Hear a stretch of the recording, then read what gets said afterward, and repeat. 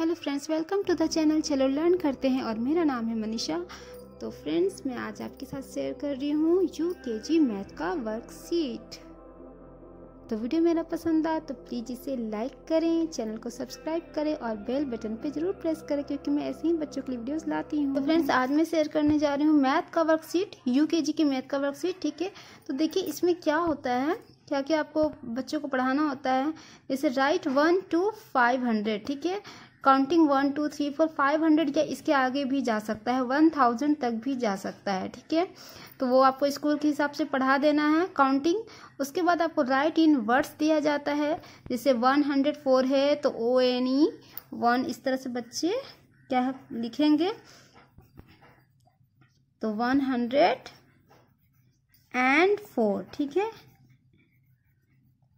And four तो इस तरह से आपको बच्चों को बताना है। वर्ड्स में लिखने के लिए इस तरह वन हंड्रेड है टू हंड्रेड एंड फिफ्टी इस तरह से लिखेंगे बच्चे। फिर इसमें आता है राइट बिफोर लिखने के लिए। बिफोर और आफ्टर पे मैंने वीडियो बनाया हुआ है कि बच्चों को हम कैसे सिखाएँगे आफ्टर कैसे सिखाएँगे बिफोर कैसे सिखाएँगे, वो आप मेरे डिस्क्रिप्शन बॉक्स में जाके देख सकते हैं, मिल जाएगा आपको, ठीक है? या फिर मैथ फॉर किड्स किड्स है प्लेलिस्ट का नाम, वहाँ आपको मिल जाएगा। तो इसमें बिफोर देखिए एट ज़ीरो एटी है, लेकिन मैं यहाँ पे आपको बता दे रही हूँ कुछ। जैसे एट ज़ीरो एटी तो बच्चे बड़े कंफ्यूज हो जाते हैं कि इसके बिफोर में क्या लिखे, जब ज़ीरो आ जाता है तो वहाँ बच्चे कंफ्यूज होते हैं। तो देखिए, मैंने जैसे अपने बेटे को सिखाया, वो मैं आपके साथ ट्रिक शेयर कर रही हूँ। मैंने बताया है कि जब भी ज़ीरो आए लास्ट में तो तुम्हें बिफोर में क्या करना है कि ज़ीरो का नाइन बना देना है और उसके जो पहले वाला नंबर उसके जो आगे जो नंबर है, उसका बिफोर कर देना है, ठीक है? ज़ीरो का नाइन हो गया और एट है, आगे में नंबर क्या है? एट है तो एट का क्या हो जाएगा बिफोर सेवन क्योंकि बच्चे ये एट का एट के बिफोर में सेवन आता है सिक्स के बिफोर में फाइव आता है। जनरली बच्चे को जब बैकवर्ड काउंटिंग कराई जाती है तो वहाँ ये तो बच्चे जान ही जाते हैं छोटे छोटे जो नंबर होते हैं, उसके बिफोर में क्या आता है। ठीक है, अब वन सेवन सेवनटीन है तो ये बच्चे बिफोर जब जानते तो वो इस ये सब आसानी से बता देते हैं कि वन सिक्स सिक्सटीन आता है। लेकिन ज़ीरो जब आता है लास्ट में तो वहाँ बच्चे गड़बड़ कर देते हैं। जो प्रॉब्लम था वो मेरे बेटे के साथ था तो मैं, मैंने उसे ऐसे ही बताया था ठीक है? तो आप ये देखिएगा ट्रिक अपना करके। फिर आता है आपको राइट आफ्टर तो आफ्टर तो बच्चे बड़े जल्दी से कर लेते हैं। तो वन फाइव फिफ्टीन तो वन सिक्स सिक्सटीन इस तरह से आ, बच्चे कर लेंगे। तो बिफोर आता है आफ्टर आता है, फिर राइट बिटवीन आता है बिटवीन भी बच्चे आसानी से कर लेते हैं, जो बच्चे अच्छे से जानते हैं तो five six seven generally between में आफ्टर ही लिखना रहता है, ठीक है? तो बच्चे को बिटवीन में कैसे बताएँगे? तो यही बताएँगे कि बिटवीन जब भी आए तो आफ्टर ही लिख लिख देना। फिर है काउंट एंड सर्कल इसमें बच्चे को क्या करना है?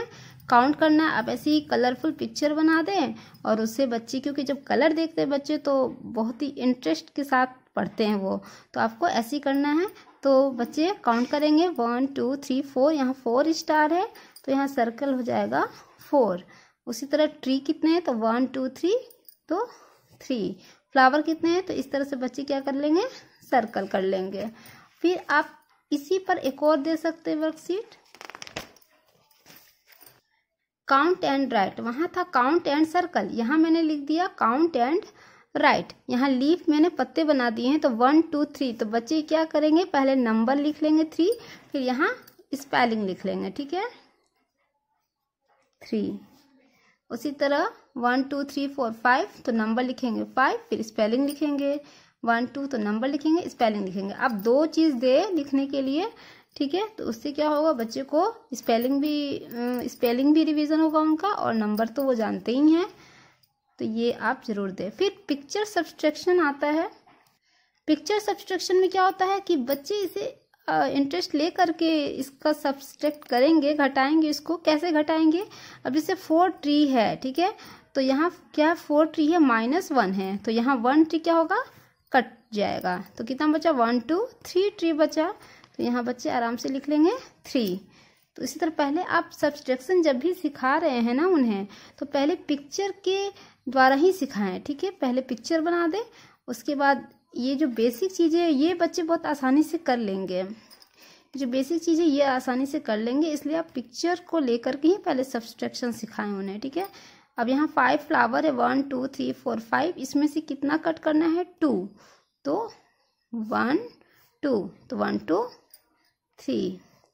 इस तरह से उन्हें दे पिक्चर सब्सट्रैक्शन अब जब बच्चे पिक्चर सब्सट्रैक्शन कर लेंगे, उसके बाद आप उन्हें इस तरह से दे सब्सट्रैक्ट करने के लिए। तो इसको आप कैसे सिखाएँगे?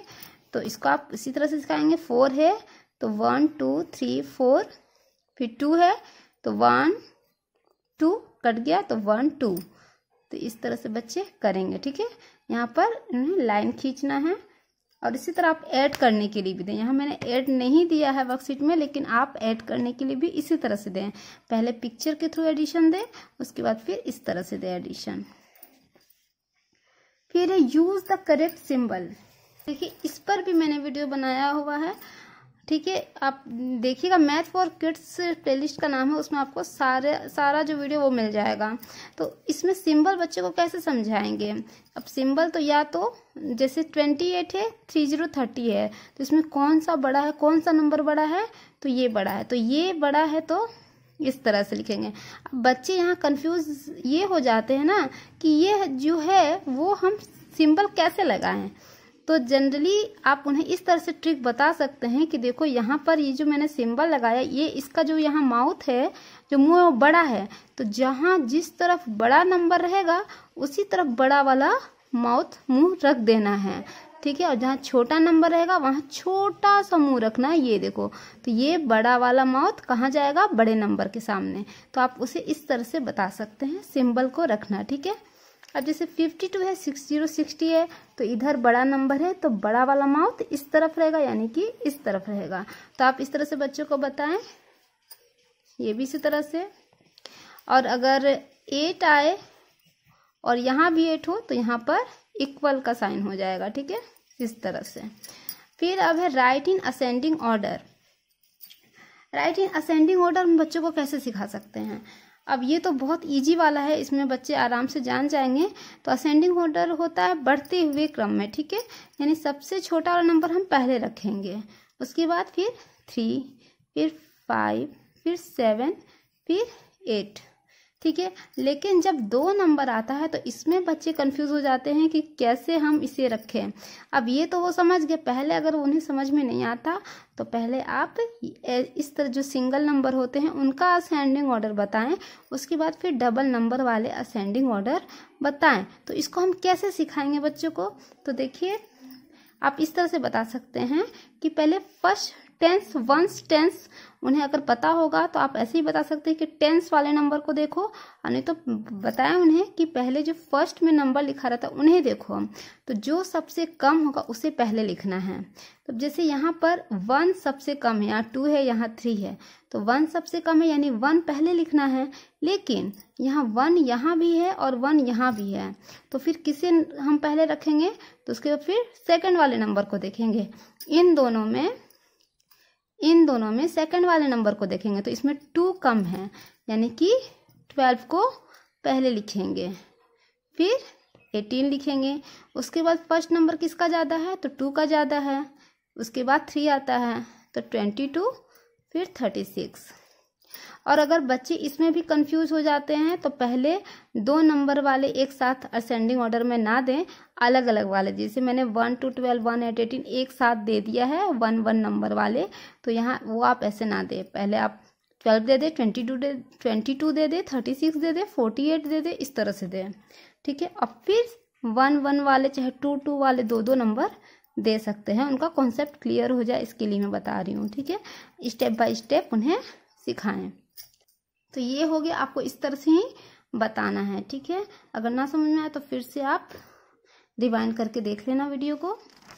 फिर है राइट द नंबर जैसे मैंने असेंडिंग ऑर्डर बताया, वैसे ही आप डिसेंडिंग ऑर्डर भी बता सकते हैं, ठीक है?